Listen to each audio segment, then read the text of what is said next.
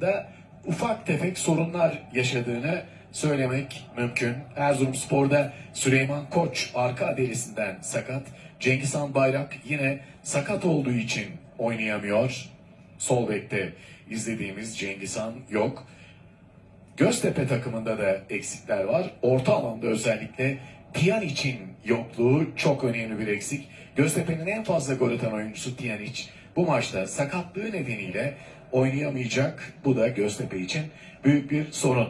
Erzurumlu taraftarlar ekranlarımıza geliyorlar ve mücadele birazdan başlayacak. İbrahim Erkal tabii ki Erzurum'un yetiştirdiği en büyük değerlerden biri. Ünlü sanatçının şarkılarıyla onu her maçta anıyor ve her maçta İbrahim Şenkal'ın şarkılarıyla, türküleriyle maça hazırlanıyor Erzurum spor takımı. Biz de bir kez daha Allah'tan rahmet diliyoruz sanatçımıza. Ve saygı ve minnetle anıyoruz yazılı pankartla geliyor oyun alanına Erzurumspor ve Göztepe'li oyuncular.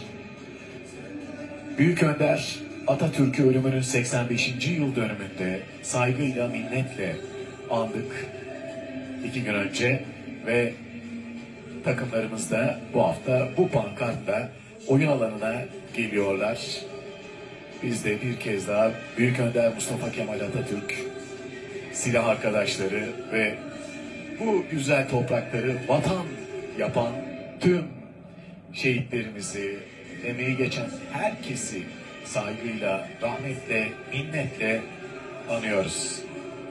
İşte çocuklar futbolcularla birlikte güzel bir atmosferde en önde maçın hakemi Mehmet Türkmen'in gerisinde sahaya geliyorlar.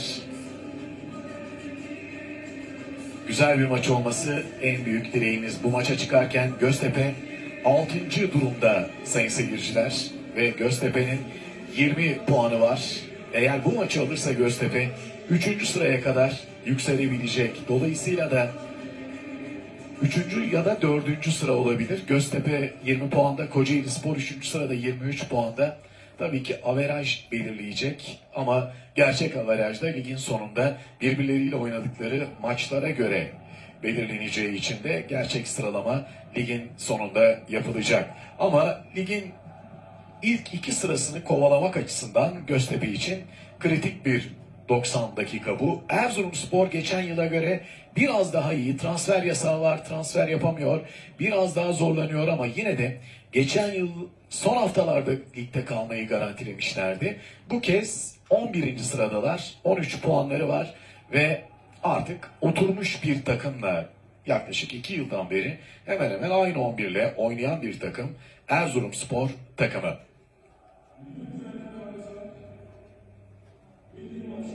İstiklal Marşımız için hazırız.